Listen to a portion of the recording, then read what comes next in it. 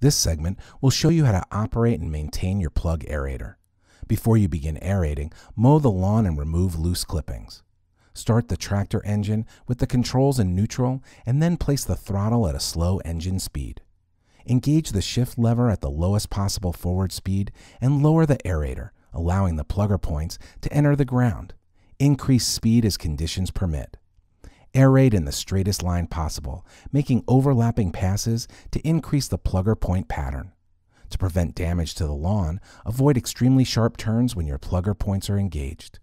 Do not cross over walks or drives without first raising the aerator to the transport position. On sloped lawns, always aerate in an up and down direction. Do not attempt to follow the contour of the ground.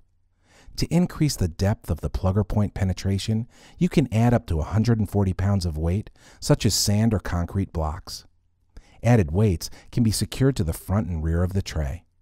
Make sure to fasten the weights so that the ties or straps cannot become entangled in the rotating parts of the aerator. If the ground is extremely hard and dry, it is recommended that it be sprinkled or watered down for one to two hours prior to aerating. However, do not attempt to aerate if the ground is too wet or muddy. Due to small rocks and gravel, which are normally present in aerated soil plugs, it is recommended that the plugs be raked. Otherwise, damage to lawnmower blades may occur, especially when reel type mowers are used.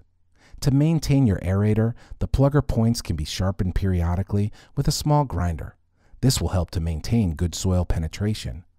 To sharpen the plugger points, first remove them from the aerator. As you grind the points, follow the original angle and contour of the points.